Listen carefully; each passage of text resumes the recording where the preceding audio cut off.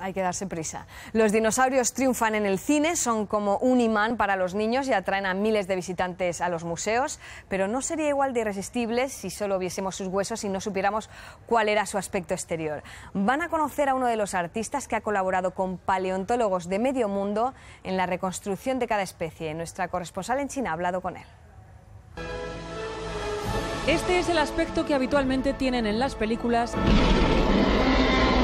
Así es como se empieza a dibujarlos. Pincel en mano, Chao Chuan esboza cada especie de dinosaurio que se descubre. Los paleontólogos le dan todos los datos, nos dice, y él les da vida. Si el fósil está bien conservado, la reconstrucción depende un 70% de la ciencia y el resto de mi imaginación, pero todo lo hago con la aprobación de los expertos. Gran parte de esos datos científicos se los da Xu Xin, considerado el rey de los dinosaurios porque es quien más especies ha descubierto del mundo. Su última investigación podría obligarnos a cambiar la idea que tenemos del Tyrannosaurus rex.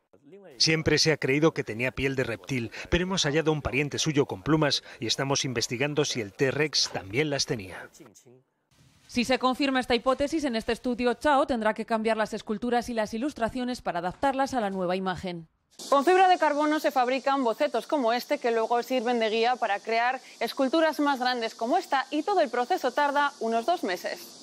Sus creaciones llenan las publicaciones científicas y los museos de medio mundo. En su estudio coincidimos con el director del Museo de Historia de Nueva York, el más importante del mundo. Juntos preparan nuevas exposiciones para dar a conocer aún más a estas criaturas prehistóricas.